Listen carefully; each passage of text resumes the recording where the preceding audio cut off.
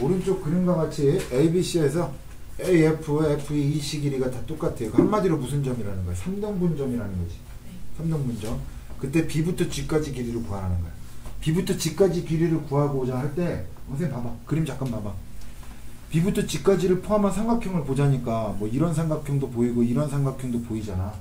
그지? 뭐 내각이 2등분 된 것도 아니고, 그치?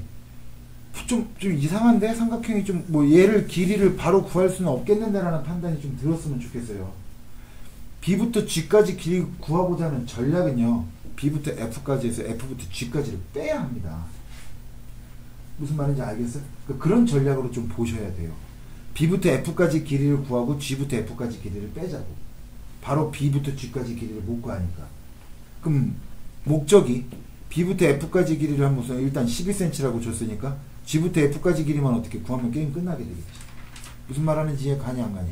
네. 이해 갔어? 그럼 생각을 한번 해봅시다. G부터 F까지 길이는 몇 cm가 될까? 라고 하는 거야. 됐어요? 근데 얘도 지금 바로 구하려고 보니까 D부터 E까지 길이를 알면 구할 수 있겠지. 왜? 요 파란색 삼각형끼리 뭐가 나오? 중점 연결 정리. 2대1의 삼각형 닮은 비가 나오겠지. 1대2에. 이해 가니 안 가니? 그러면 다시 목적이 또 이번엔 뭘 구한다? 2부터 D까지 길이 구하는 목적으로 바뀐 거지.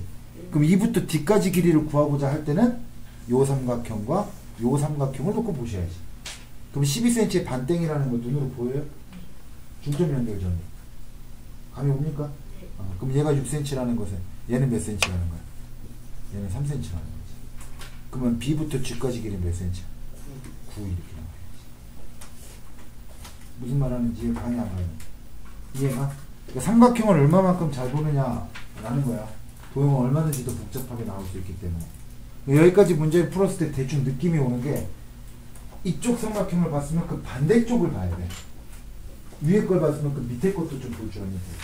무슨 말인지 알겠어? 그러니까 뭐 이렇게 정형화돼서 정해진 건 아니기 때문에 이리저리 돌려서 문제를 볼 줄 알아야 되고 이건 그나마 괜찮은 게 이건 선그라고 보조선 그라고 줬어 안 줬어?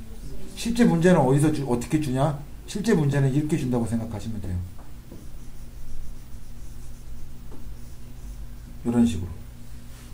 실제 도형이에요. 문제, 시험 문제 나올 때. 그럼 여러분들 뭐 하셔야 돼? 선 그어야지. 보조선을. 이거를 니들이 직접 그을 수 있겠냐, 이거. 이건 경험치예요.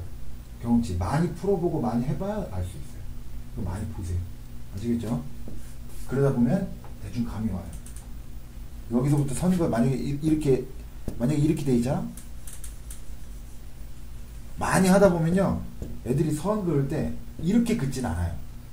어느 좀뭐 크로스해서 긋진 않아. 그 여기서부터도 여기서부터 뭐 이렇게 긋지는 않아. 뭐 이삼각형 나온다고 뭐 될 것도 아니고. 뭔 말인지 이해가? 그 느낌을 하나씩 찾아갔으면 좋겠다라는.